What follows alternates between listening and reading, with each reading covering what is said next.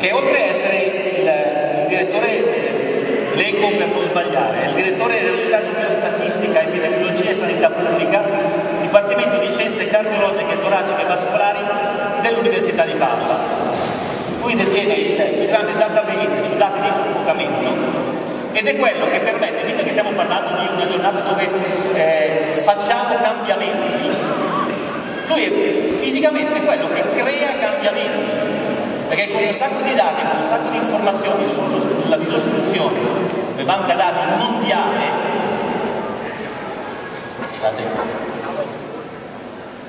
questo ce lo ricordiamo tutti, sapete che cos'è? So che si vede poco, è quello che c'è dentro l'ovetto, vi dico nient'altro. Sapete che da qualche tempo non si stacca più la parte sopra? Ok? E grazie al lavoro di, di persone così fenomenali. È il professor Dario Gregori.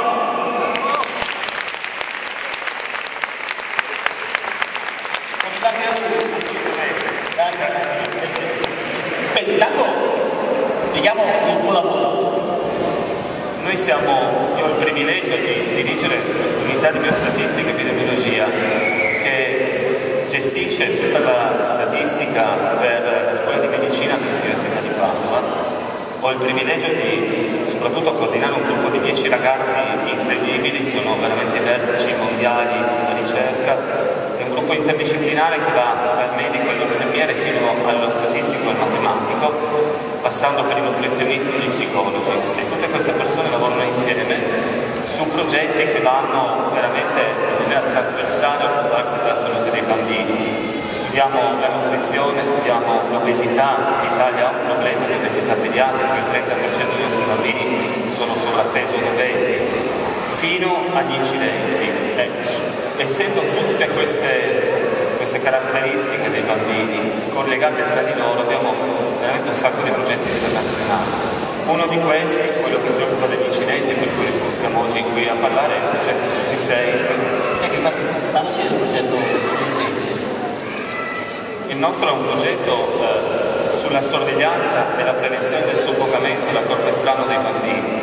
Innanzitutto cosa intendiamo per corpo estraneo dei bambini? Sono eh, degli incidenti che avvengono per l'inserimento di corpi estranei, appunto oggetti, negli orifizi naturali, la bocca, le orecchie, orecchie, il naso, anche le parti orogenitali, ma di cui non parliamo, non parliamo oggi. Il nostro registro è un nasce nel 2004 come un progetto europeo voluto dalla Direzione Generale della Sanità e della tutela dei consumatori della Commissione Europea L'abbiamo fondato insieme ad altri cinque Stati membri e al Ministero dello Sviluppo Economico Italiano che ci ha supportato in questo inizio. Adesso è un progetto di ricerca che è ospitato e diretto dall'Università di Padova nella mia unità e supportato dalla ONU Child che ci aiuta da vari punti di vista. Dove siamo arrivati dal 2004 ad oggi? Beh, lo vedete, abbiamo veramente un una copertura direi globale, abbiamo 150 quasi istituzioni sanitarie, per cui molti più medici ci forniscono dati, informazioni, dettagli importanti per la prevenzione primaria, oltre 50 paesi e per darvi i numeri, ma sono già più alti di questi, abbiamo più di 23.000 casi di incidenti effettivamente avvenuti nei bambini tra 0 e 14 anni tutti, in tutti questi paesi. Quali sono gli obiettivi di questo, di questo progetto, del progetto Susi 6? Innanzitutto, come ho detto all'inizio, è un progetto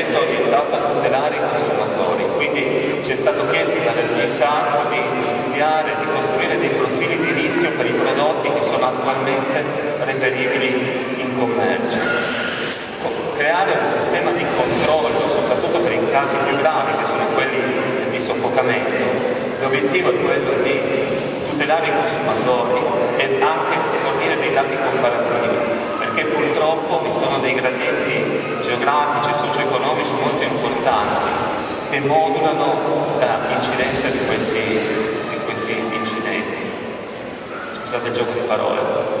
Noi in particolare cosa facciamo? Noi prendiamo insieme un sacco di informazioni, i dati del nostro registro, prendiamo le opinioni e le esperienze di medici che partecipano, prendiamo i dati della letteratura e devo dire con dei modelli matematici piuttosto complessi sintetizziamo tutte queste informazioni ai fini di produrre dei modelli di rischio. Questo dico con un po' di orgoglio perché spesso la ricerca italiana si dice che soffre, noi soffriamo come tutti, però effettivamente queste cose le stiamo, le stiamo brevettando, veramente dei modelli innovativi che noi, che noi sviluppiamo. Ovviamente ci occupiamo di attività scientifica, di collaborazioni istituzionali, abbiamo come vedete enti di tutto il mondo, dagli Stati Uniti al Sud America, che partecipano con noi e noi con loro a questi progetti di prevenzione. Ci occupiamo anche, è importante dirlo, della divulgazione al pubblico e dell'informazione alle famiglie. Abbiamo creato sulla base delle nostre esperienze di ricerca degli strumenti molto banali che trovate in molti ospedali, in giro per il mondo, sono sono tradotti in moltissime lingue.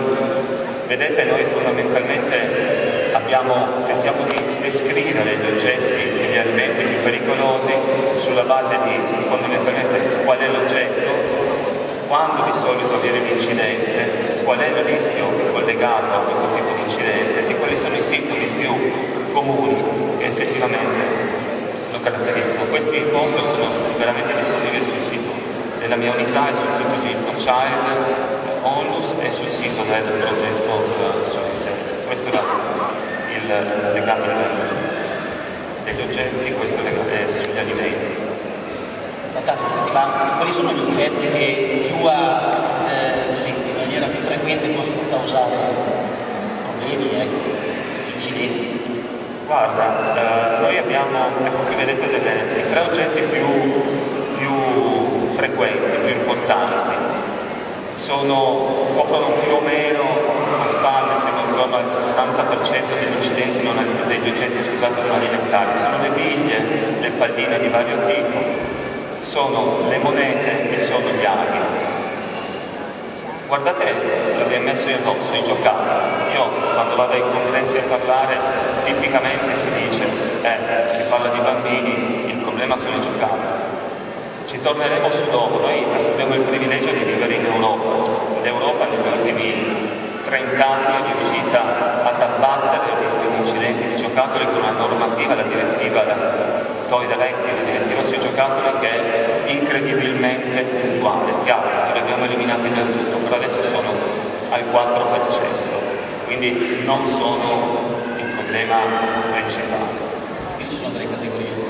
Assolutamente, e alcune di queste le vedete qui, queste sono delle categorie, eh, sono delle foto del bambino prima che venisse estratto l'oggetto, qui addirittura avete il, vedete la moneta alla, biografia, all'endoscopia e la moneta dopo, dopo l'estrazione. Questi sono tutti i casi che si sono risolti, risolti bene, sono i casi che nostri medici che collaborano con noi mettono a disposizione della ricerca del nostro progetto. Va detto una cosa, ci stiamo occupando, l'aveva detto Marco prima, di incidenti seri e quelli sono sicuramente quelli legati al corpo estraneo nelle vie aerogestive superiori, però non dimentichiamoci che c'è una grande, un grande numero di incidenti che riguarda soprattutto i più grandicelli, quelli sopra i 7 anni, che sono i corpi strani nell'orecchio e nel naso, sono di solito legati ai gioielli, anche ai magneti, ci torneremo magari poi successivamente su questo. Quindi non, non dimentichiamoci questi aspetti. Qual è l'età? Vedete quello che stavo appena dicendo. Se è vero che il 73% degli incidenti avviene nei bambini molto piccoli, sotto i tre anni, quelli che sono oggetto poi del warning, dell'attenzione che ci sono sui pacchetti, è anche vero il contrario, che ci sono un 30% di incidenti che avviene comunque anche nei bambini, nei bambini di età più avanzata, quindi l'attenzione dei genitori non è mai, non cessa mai, non passa mai per tutta la vita. E un'altra cosa, i maschi sono quelli che fanno più danni, non sta mai fermi, non si sa perché, però in tutto il mondo sono quelli che hanno più incidenti. Sono comunque più sfortunati sempre. Assolutamente. Basketti.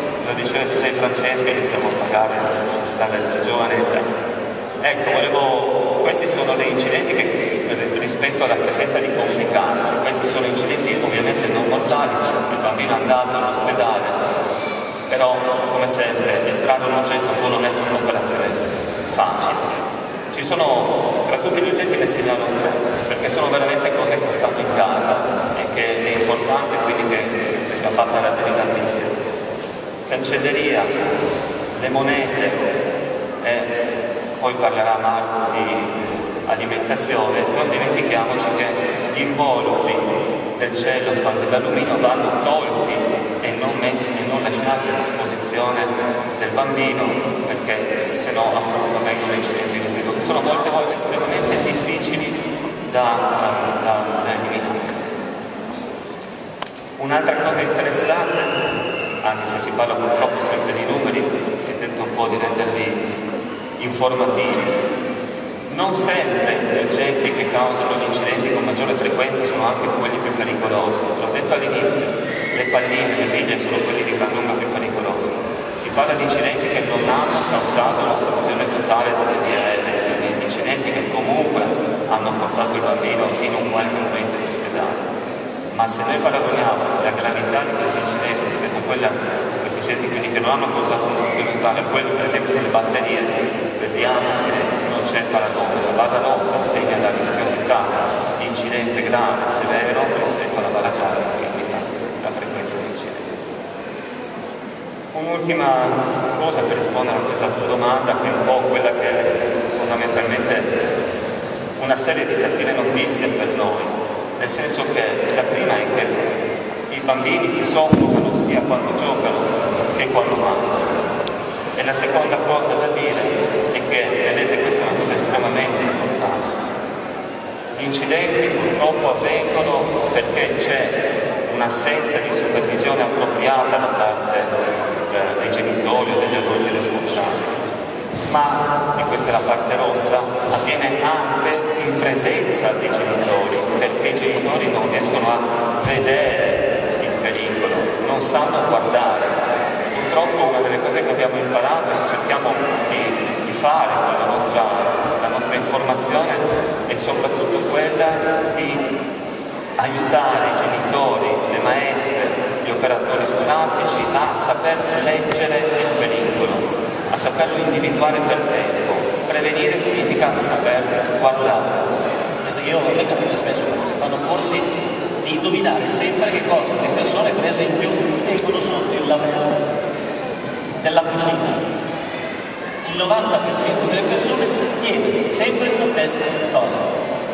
Pastiglie da lavastoviglie, brillantanti, eh, il supercotto, sempre le stesse cose, che sono comunque oggetti che oltre a creare un danno magari magari anche un danno magari anche pesante dal punto di vista non so, gastrico, assolutamente anche, anche cose meno cruente. Pensate alle noccioline, quante volte ci capita di fare un party con gli amici e lasciare le arachidi lì vicino ai bambini. Poi le arachidi sono una delle cause principali di soffocamento nei bambini, non solo per l'ostruzione meccanica ma anche per la reazione staminica e quindi il rigonfiamento delle pareti che contribuisce all'ostruzione. E aiutare la ricerca come...